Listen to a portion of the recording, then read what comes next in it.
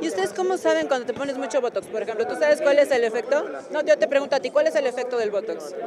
Yo, les, yo los invito a que, se, a que lean, o sea, el Botox no se puede notar cuando tienes mucho, porque eso es una toxina que hace que los músculos se, se, eh, eh, sí, se paralicen o se atenúen y no, no tengas tanta gesticulación, pero si se refieren a los, a los fillers, al ácido hialurónico o a mejor este, hay que leer para que vean lo que...